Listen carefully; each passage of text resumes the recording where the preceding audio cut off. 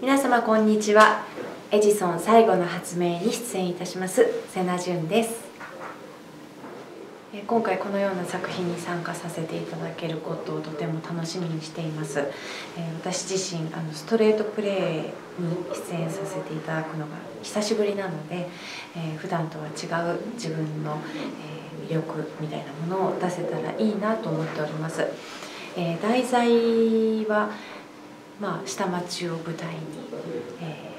ー、まあ、私の今の私の等身大に近い役柄なんじゃないかなと、え、思っておりますが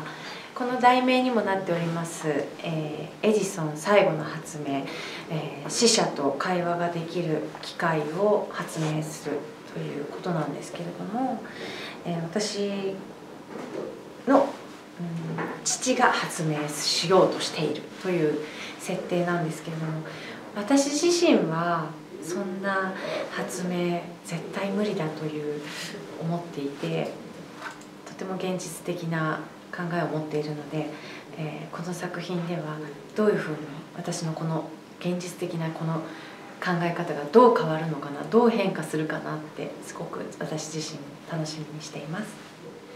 え、今回私はラジオの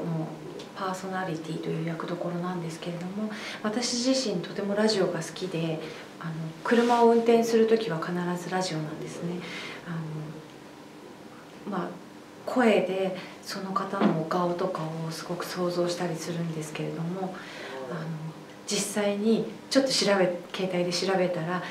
印象とお顔が違ったとかいうことがすごくよくあるのでなんかラジオってすごく想像力を膨らませる。とてもなんだろうな、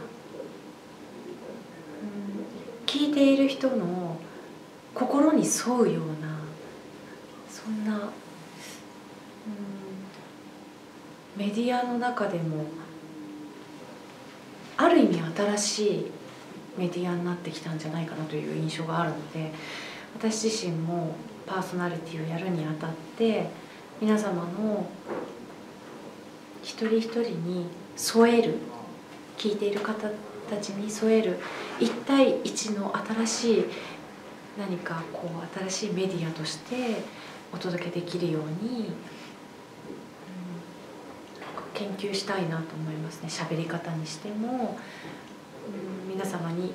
どういうふうに届かせるかっていうことをちょっとまた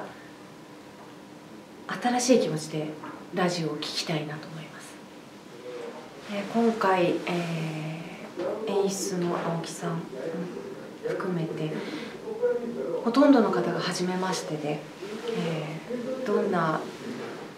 化学反応が起きるかすごく楽しみにしているんですけれども、えー、お話しさせていただいた印象ではのびのびと、うんお芝居をさせていただけるんじゃないかなと思っております。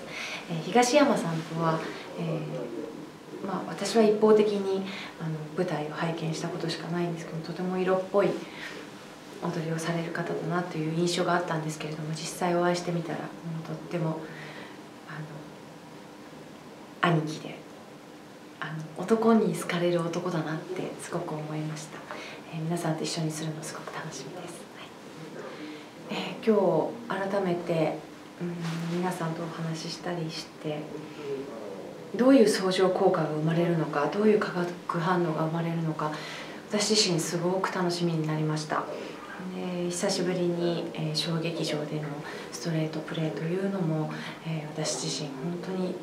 楽しみですし、うん、また新しい自分が発見できるんじゃないかなと